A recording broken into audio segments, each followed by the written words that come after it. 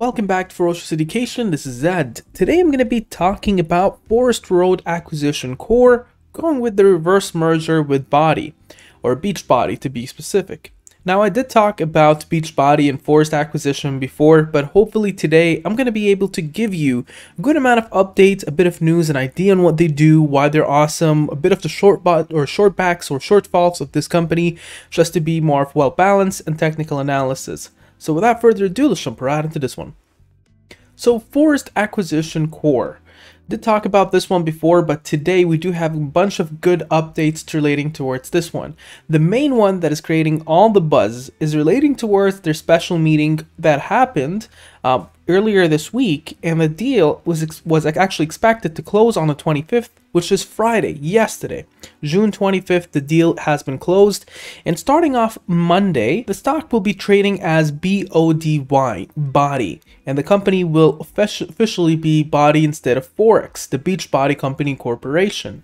Now that is exciting. The CEO said we look forward to supporting Beachbody as it furthers the mission as a, company, as a public company, introducing many more people to its proven at-home fitness and nutrition solutions. Now this one here, if you've heard about it before, really comes in between this and Peloton or Peloton. And what you're seeing with that one is you had a lot of issues with safeties, recalls, etc. But this one so far hasn't had the same issues. So it's definitely looking a bit more interesting. Now they do as well have a bit of analyst coverages for this one.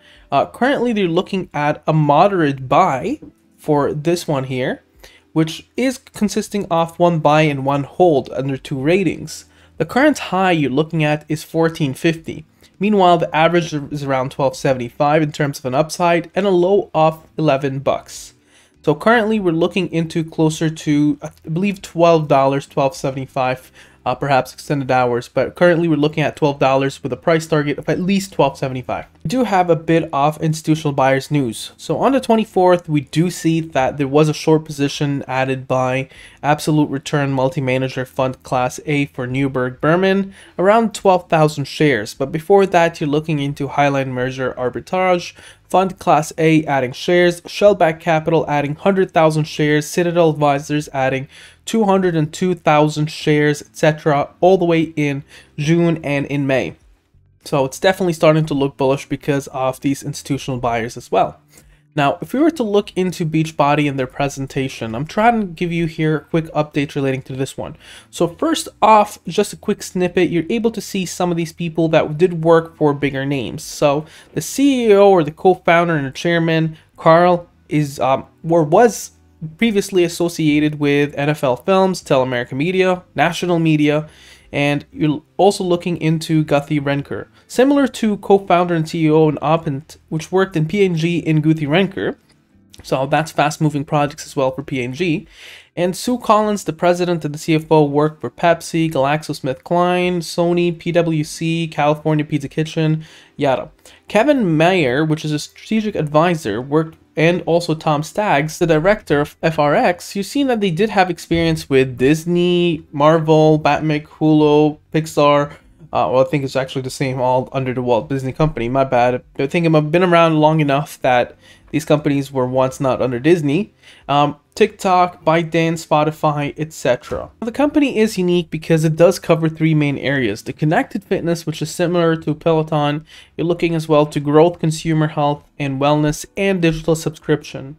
So I did cover a bunch of that before, but just to give you a quick overview, first off you have the machines, which is basically similar to Peloton, which is under the MYX Fitness. Beachbody, which is another part of the company, you're looking into different protein bars, protein mixes, etc. OpenFit gives you more of an app kind of tracking fitness apps, uh, also similar to as well pre-workout mixes, etc and you're looking into digital subscriptions as well as a part of this company, giving you an estimated revenue of around $450 million only in 2021, which does rank it as well into a higher group compared to its peers. Now, in terms of connected fitness, you're looking into around $29 per month subscription cost, which is cheaper as well than Peloton, and around $100 million in revenue estimated in 2021. In nutrition products, you're looking into an estimated of around $450 million from digital subscription and $560 million from nutrition sales and other sales itself in 2021 estimated. And so you kind of start seeing as well in terms of nutrition, almost each one of these beach bars, Shakeology and Beachbody Performance, have their own bases as well, including whey protein and plant proteins, uh, as well as hydrations.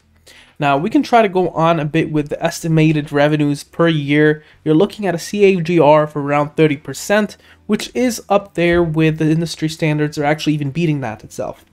So the current revenue estimated for 2021, you're looking close to around 1.1 billion dollars, closing towards 2022 around 1.5, going on every year on almost around 500 million or a bit more every year.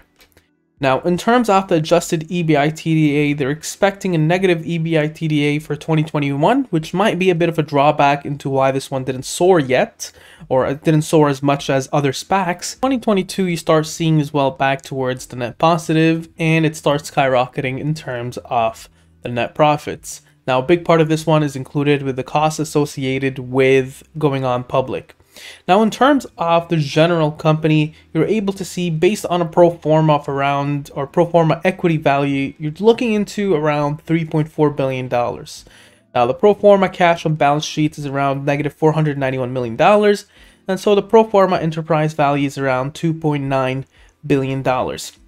Now that is currently around two times the 2022 estimated revenue of around 1.5 billion dollars, which is honestly not bad because the price over sales and uh, the pro forma equity enterprise values with revenue towards the market average is similar to around four. So this one is still undervalued if you were to look into uh, the general public's or general public companies averages. Now, in general, we can still take a look into how they compare to other companies, but each of these companies is a little bit different. Now, we can try to compare it perhaps similar to Peloton, but also, again, as I said, that's the only connected fitness part. It has digital subscriptions and growth consumer and health wellness. It's kind of a three in one basket, and that's what I like about this company. Now, before moving on forward, if you'd like to see more content like this, make sure hit the subscribe button on the bottom right corner and turn on your bell notification buttons. It helps my channel a lot. Don't forget to drop a like, and if you would like to talk a bit more about this one, you can join my Discord down in the description below, totally free, no subscriptions, etc. Now, just a quick thing, and this is just to kind of give you a well-rounded insight, a piece of caution is that after the official merger dates, sometimes the stocks actually take a dip. So just be careful of that, and that's all I'm saying regarding that. Now, in terms of basically uh, institutions, celebrities, etc., this one has a good backing one of the notable ones was actually Shaq, and he mentioned on his Twitter, excited to close FRX Beachbody and MYX Fitness merger with my partner, Forrest Turcoto, and 625th pending successful shareholder vote tomorrow on the 24th of June, which already passed, and will be trading his body on the 28th of June, which is confirmed. Now let's move on now towards technical analysis. Now from a technical analysis standpoint of view, you're going to see that this one here, of course, is going to look very bullish because of the four green candles. Now currently on the MACD this shows that it's a very strong move and momentum is incredibly bullish. Now when we're looking into the ADX that's sitting at 30.99 which actually supports the move as a very strong bullish move. The Williams percentage R shows that this one is actually overbought, which doesn't mean it's bad, it just means technically if we were to reach momentum, people would have to sell, but why do we even have to reach momentum? Bullish on all the moving averages, the 10 SMA is above the 30 MA, and the price point is above the 200 SMA at 1009. Now this one is or topped at 1234. Remember that the high of the estimates was around above 14 and the average of analyst estimate was around 1275. So it's definitely looking bullish, and the stochastic fast and stochastic slow both are actually pinpointing upwards, suggesting that there might be another leg up for this one. Now, the other thing as well is the moving average bands. They're expanding a bit upwards on the Bollinger Bands, but just for the sake of the argument, it's expected to trade on the moving average bands between 1130 and 925 in the bottom. Even though I think that it's going to actually continue to play above that as the Bollinger Bands continue to expand. Now, in terms of the Fibonacci retracements, and I'm only using this because institutional traders, high frequency traders, yada, start using these ones in algorithms. So it's good to know where you might actually start seeing resistances. The current support, which was a resistance on the Fibonacci retracements, was 1173. Above there, 1297, 1397, 1497, and 1639, followed by 1820.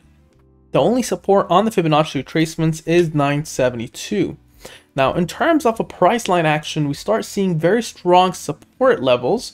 This one is starting first on close to around 12 or just short of 12, around 1192. Following that, 1172. Below there, you're looking into 1139. Below there, a very critical one, 1108. Consider selling the drops below there. Then 1071, then 1053 and then down to 1027 going down to the $10 sharp and then 980 972 current resistances there's a very strong resistance at the 1229 above there 1309 above there 1395 going to 1437 and then upwards to 1516 going to 1575 1599 and 1721. Following that, 1820. Comes to the question to Ed, what do you think about this one? Well, this company here was in my portfolio for the longest time, and I continue to consider buying more relating towards this one.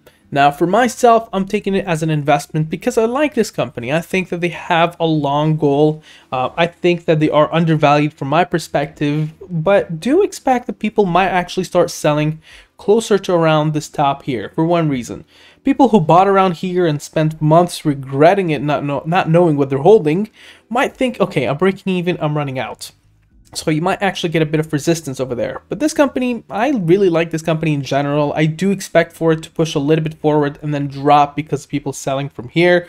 But in the longer term, I do think that this is going to be a very bullish company. $20 within the next year, in my opinion. What do you think about the sticker? Exclamation down in the comments below. Share, subscribe, and like, and have a wonderful day. Now, if you made it this far into the video, I do recommend that you go ahead and join our Discord server. There's a lot of amazing folks in here. Uh, we do a lot of discussions here into the trading floor throughout the day. A lot of people are in there, and we do ask questions. You can ask me uh, any question you would like on there. Uh, we do post research and DDs, and we hold weekly uh, chat sessions. And we also do have a lounge in there. So make sure to actually join that and join the fun there. Have a wonderful day and a good one.